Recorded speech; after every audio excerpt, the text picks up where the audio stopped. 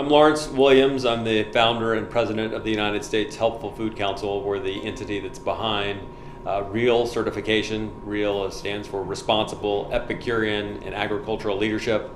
It is a third party voluntary nutrition and sustainability certification program. What we're trying to do is encourage uh, what we call like best practices in the industry. You want to give the chef the creativity to do his thing, but you want to encourage best practices that would better align the sort of financial interests that are the businesses behind the, the restaurant. Often, you know, the, the, chef is the owner. Many times, the chef's not the owner, and better align those interests with the long-term societal benefits of healthier food. And that's really how we kind of developed this best practices. It's related to both nutrition and sustainability, and we've really tried to blend those. And really, the goal of the organization is to make healthful and sustainable food more profitable because right now I feel like one of the reasons why we've ended up where we are with our food system is because you know it's being driven very much by just the economic interests. I mean, these are businesses; they're not you know social enterprises, and unless you can really align the financial interests with the nutrition and sustainability interests, then you're going to have this conflict. So you know we often say we got to align the bottom line with the waistline. We've rolled out in uh, Washington D.C. We've got uh, 20 of, I would say, some of the most influential restaurants involved, everything from fine dining to, you know, mid-level founding farmer, you know, casual uh, full-service restaurants to some of the, the more um, forward-looking new chains that are out there um, in even the sort of fast casual and uh, quick service space um, like ShopHouse and, and uh, Energy Kitchen. The main reason we're here is to celebrate the leaders in this industry, like Elizabeth and like the other restaurants that are the first certified restaurants. Everybody's here to celebrate. Food should be about celebration, bringing people together. The last thing we want really is having to worry. When you go into a restaurant, which we're all doing more and more, you really want to be able to go in and just order what you want the same way as if you went to dinner at your parents' house or your spouse is cooking or anyone else. You shouldn't really have to worry, like look at the calorie counts and things like that. And that's what we're trying to bring back with real certification. So thank you all for coming. Please enjoy the organic wine and the wonderful raw vegan uh, appetizers. Don't raw vegan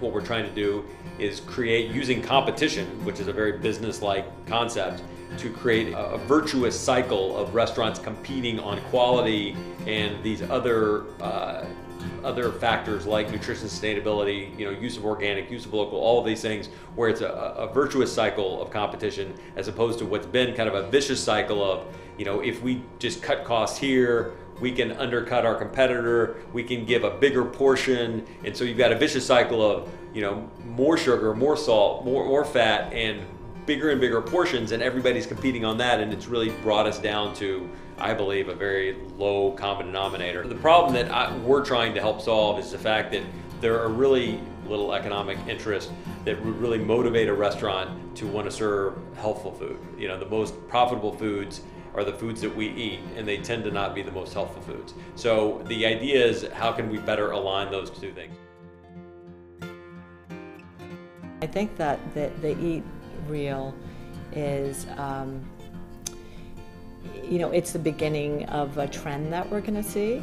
Um, I think it's really important. People want to know where their foods come from. They want to know how their food's prepared. And I think for, you know, for Lawrence to bring that really to the table, no pun intended, but to bring that to the table and say, you know, it's time that we offer, you know, more information about um, restaurants so that when you go out to dine, you can make educated choices about, you know, all these restaurants, the food might taste good, but don't you want to know where it's come from? I mean, that's a big deal. That's a really big deal.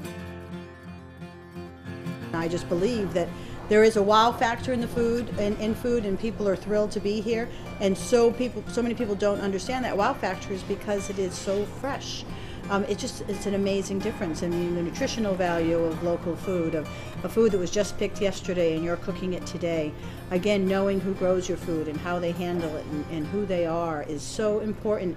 It translates into my being and my spirit, and when and not even that I'm cooking it, but it's in my kitchen. But when we cook it, it it it it, uh, it all it's all part of the whole deal. And when our guests eat it, it just makes a world of difference because our love and passion is in that food, and that's very very important in cooking food. My name is Josh Hahn. I'm the operating partner of Eat Well DC. We own and operate five restaurants in the district, three here in Logan Circle, one in the west end of Dupont Circle, and one in Columbia Heights. Uh, we also own and operate our own private farm. It's a 13 acre farm uh, in southern Maryland. I think their mission is, is one that we believe in, um, and the people that are behind the mission, I think, are very impressive. We want, hopefully, support them to allow them to get the message out about, about us and these other restaurants where people should go if they want to support businesses who um, you know, serve farm fresh food and serve ethically raised proteins and, and uh, you know, use recyclable products and, and green chemicals um, and um, you know, care deeply about making sure that the people that come in the restaurants are getting the best product possible and not just the you know, cheapest, fastest, um, easiest uh, products available. I think a lot of people say they want to, you know, spend their money a certain way or eat a certain way, um, but when push comes to shove, um, they don't want to do the work to find out where to go. There's hopefully better resources coming that, that will give people that, that knowledge and that information to make to make the decision. There's a whole new generation, I feel like, of people that are really want to eat real. They really, you know, understand how you know their grandparents ate and how the food system has changed, and they're they're really an awakening. I think that's happening right now.